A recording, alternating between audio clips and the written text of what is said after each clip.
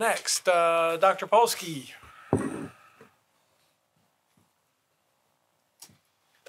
These might start winding down. Oh, I hope so. And uh, I checked with Andrew. He's vaccinated. I am vaccinated. I'm taking my mask off. Mm. Mm. Me too. Doc, I, I just can't help to point out you were gone for two weeks and now all of a sudden mask restrictions are gone. The whole states, I mean, It, it, it- things turned upside were down. you working on a secret uh, potion somewhere? I was thinking, why you couldn't go away sooner? we should have sent him away six months ago. You're, It'd you're been- welcome to send it would be completely done. I wouldn't argue at this point.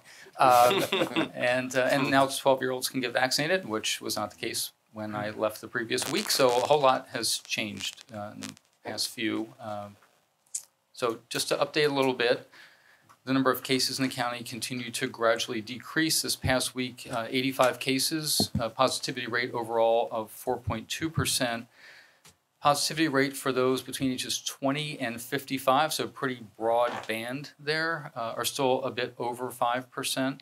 Uh, happy to see that in children and adolescents that the rates are declining, so those are down 3 to 4%, depending on which age range you look at.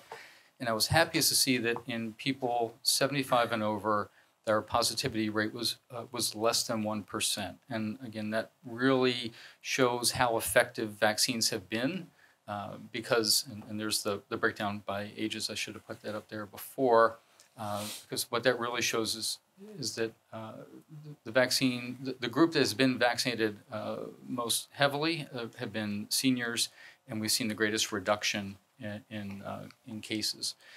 So again, there's the numbers. We're still seeing about 2,000 people per week in the county getting tested, which is nice to see that uh, vigilance in that respect, both among individuals and among healthcare providers, is staying high. They realize this is still a problem.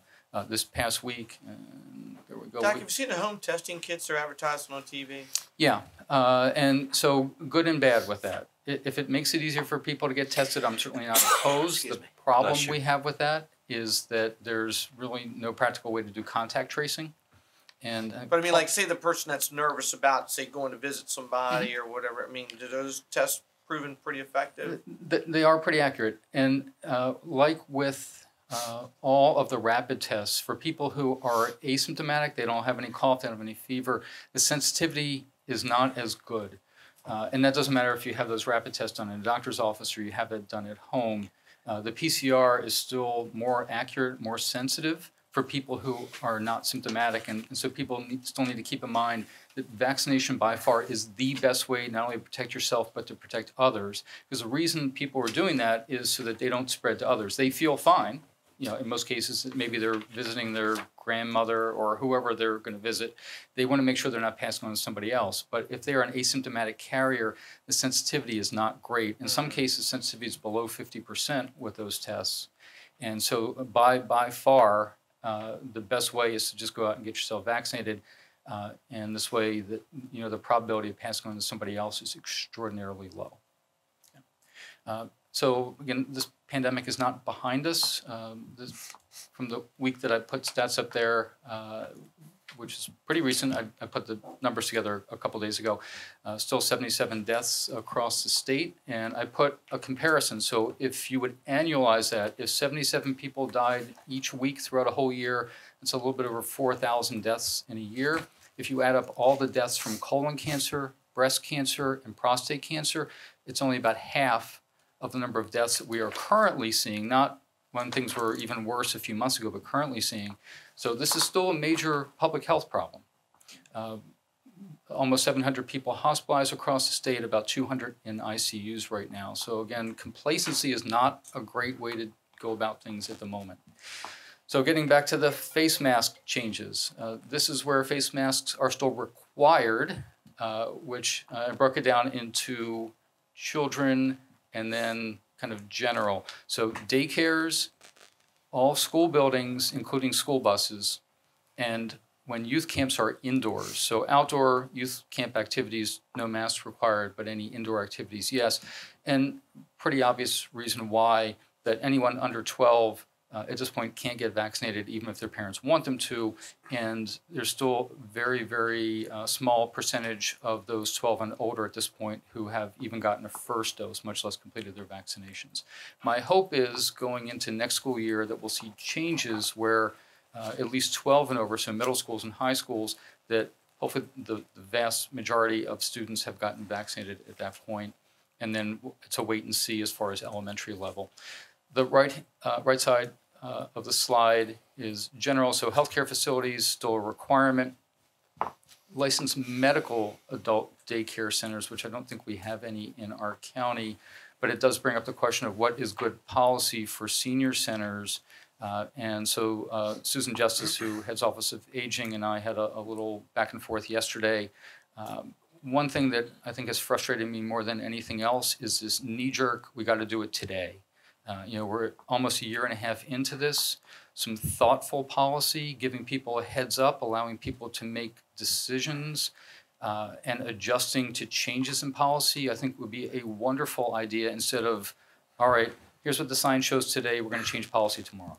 Uh, and so for the health department, uh, we don't know what the governor will decide tomorrow. Certainly, we are a healthcare facility, but that mandate for masks go away tomorrow for all I know.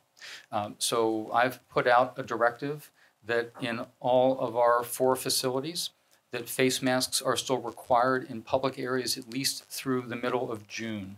And that gives anyone who at this point has, for various reasons, decided not to get vaccinated, it gives them a chance over this next week or two to get their initial vaccination. We know that regardless of the vaccine, whether it's Johnson & Johnson, Pfizer, or Moderna, within two to three weeks after that first dose that people have at least 70% protection.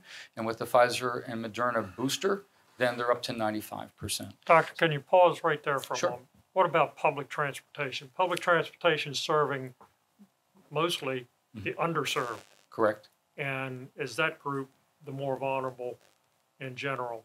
And In- should, should masks still apply? In general, yes. And I'm sorry, I, I was going to get to the last bullet point, so thank you for prompting me.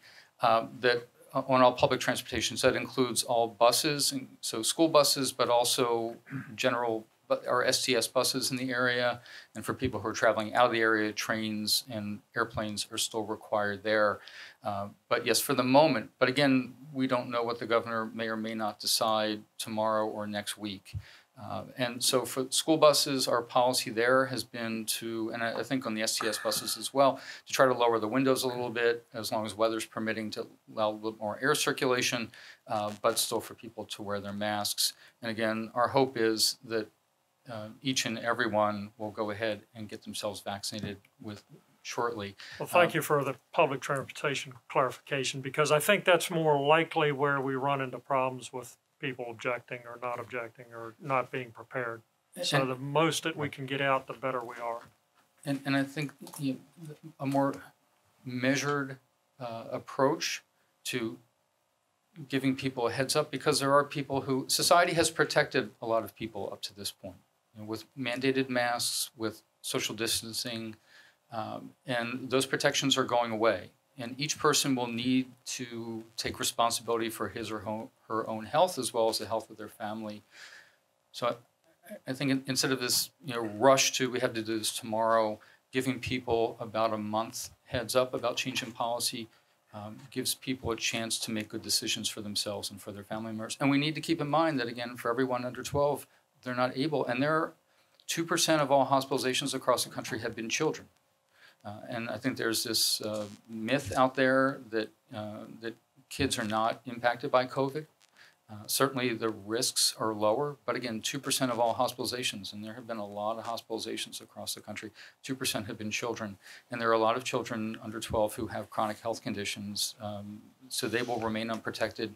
And for adults, uh, for people getting chemotherapy, for other types of treatment that significantly suppress their immune system, regardless of what they want to do, uh, their immune system, vaccine or not, are not going to protect them adequately. So we all still have a collective responsibility uh, to watch out for our neighbors. The big number slide. Um, so the other thing that we have to keep in mind is that in Calvert, uh, only about 38% of the total population are fully vaccinated at this point. If we take a look at adults between 18 and 65, Uh, about 50% have gotten their first dose, but that means half the population under 65 has not even gotten a first dose. And again, for those under 18, the numbers are very small. Uh, that puts us, uh, I'm sorry, that puts us in the middle of the pack for the state as far as overall adult vaccination. So, Dr. Polsky, do you know last week how many first dose vaccinations you all did? I'm sorry, I don't have that number with me. I, I can get that. Uh, and, and what we look at is not just what we as a health department have done, but collectively, so for the residents across the state, whether they went to a local pharmacy, um, there are quite a few primary care offices that are now providing vaccines, although in limited numbers. Um, and then there's a small number who's still going out of county. So I, I can I can get those numbers for next week. Is it okay for me to Yeah, have that? yeah. Right. So this morning on the radio, the Charles County Health Officer was on doing an interview, and she was concerned about the low rate of vaccinations for children. But didn't we just open up to children about a week ago?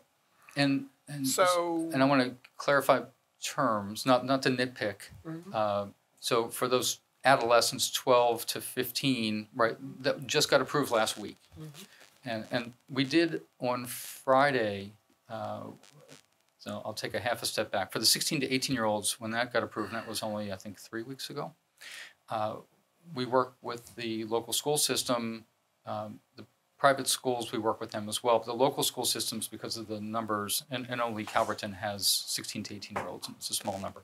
So the private for, for the public schools, uh, we work with the school system. The school nurses set up clinics in the high schools so that for parents who, because of transportation issues, because of work schedules, who would be difficult, all they needed to do was sign a permission slip, and their children were able to get vaccinated in the high schools because of the timing now at the end of the school year and the second dose is three weeks after and every other week and all that kind of stuff, uh, the schools felt that there it just wasn't uh, feasible to do the in schools for the 12 to 15 year olds. So we worked out with them very quickly to push uh, registration links out to parents, and um, I had the numbers, and I'm sorry, I um, some ballparking. Uh, the 12 to 15 year olds on Friday, I think we provided about 250 vaccinations at the drive-through. And what we're looking at right now is we have a mobile van through the health department to take that out to the middle schools at least to do a first dose and then figure out what will be best for the second dose, which might be going out to the same location or making other arrangements for parents to be able to get their children in. Under 12, again, uh, there's not an option for vaccinating at this point. So, didn't a bill pass in the legislature this year that said school children can get treated without parental permission? No, It did not. not not for COVID. No, no, no. Just in general, that a child in no, school. no. Oh, oh, I, I, I know what you're talking about. You should, because you testified. Uh, so this is specifically. So what for did that cover? specifically for mental health care. That's only mental health. Only mental it's not for medical care, right? Correct. So we won't be able to vaccinate kids without parents knowing. Correct. Okay, that's what I was checking. Right. Okay. Right. Yeah. yeah parental permission is is required. Um, and then uh, for 65 and over, we're still second highest in the state as far as the percentage of our seniors. So um, 88.1% I think was the latest as far as at least a first dose, and 81% of all the seniors in the county have completed their vaccinations at this point. Uh, and then an update as to where uh, people who live in the county are getting their vaccines. And uh, CHMC is the hospital group. And then a reminder to where people can go uh, for vaccination and uh, updated. So the vaccines given out through our health department, essentially 90% of those have gone to Calvert residents. And then uh, where people can register at this point. And at this stage, if somebody registers, they can pretty much go Same day. to the next yeah, whenever Right. you have it. So we have links up for today, tomorrow, Thursday, Friday, Saturday, and into next week. This Thursday and next Tuesday, we have hours till 7 p.m. And we also have hours this Saturday. So for people who work standard, roughly 8 to 4, 9 to 5, uh, they still have opportunities during um, weekday evenings and on weekend for themselves or for their adolescent children to come in and get vaccinated. And you have Moderna and Pfizer. We have we have both. Uh, we do have a few doses of Johnson and Johnson in the refrigerator. We do have a few people who specifically want a one dose, and I think that for men of any age and for women over 50, the Johnson and Johnson is a perfectly reasonable choice. If I was somebody's personal physician and it was a woman under 50, then I would recommend either the Moderna or the Pfizer. The, as we talked about a few weeks ago, the number of blood clots is not dramatic, uh, but about one in a hundred thousand. It's just I don't see the need to take that risk when we have other options um, that are um, have proven. There's now been 150 million doses of Pfizer administered in the U.S. alone, and 116 million doses of Moderna administered. We've not seen any blood clots. We've not seen really any uh, significant health issues other than people get a sore arm after the first shot, usually feel kind of fatigued after the second shot. Yeah. All right. Uh, any All right. other questions? Questions? No. Thank you, Dr. Great. Folsom. All right. Thank, Thank you all. you. Dr. Folsom did a great job filling in for you the last two weeks. And uh, I heard you were very gracious. So we that's encouraged we encouraged her to come back. But she um, she was appreciative for her time, and she, she seemed to be uh, perfectly happy to turn things back. and Really? but- We, If- we if offer I- her if I a was- bargain spot. Yeah, reduced- yeah, exactly. If I was you, in I wouldn't go away no more for a while. Um, well, uh, at this point, I'm, I'm telling you, you want to get rid of me, get rid of me. Um, You remember what I'm so to the far- drummer of the Beatles? Remember the drummer for the Beatles? Remember what happened? That's right. Was it Peter Best? Pete Best. Yeah. yeah. there you go. Okay. All right. Well, again, thank you all. Thank you. Yeah. So uh, while we're on the subject of COVID, as most of you know, last week at the end of the week, the governor was having press conferences in rapid fire succession, changing the rules. So uh, we are trying to get the county back up and running as best we can according to the rules that the governor has laid out. Uh, I, as I always say, uh, this courthouse is not under our control, and it is under the control of the chief magistrate judge in Baltimore, and she has yet to relieve us of the restrictions. So um, until that time, we still cannot allow the public in our meetings here. So, uh, but we are, I can assure you, staff is working hard to try to get some uh, leniency in those rules because uh, we do enjoy seeing a full room of people when we're here. It's, it's not much fun when it's just the five of us sitting here by ourselves. So, uh, oh, well. But uh, just wanted to relay that information. Um, I will say that for any of you that are trying to come back for a county service because of uh, the construction plan for the new administration building, county offices have moved. So you need to check before you come, uh, call here at the courthouse, uh, find out where you need to go because, as I said, there's nothing left in the administration building over where the plaza is. So um, I don't want you driving around Prince Rudolph lost. Uh, staff will try to direct you to where your offices are so you can uh, do your business as need.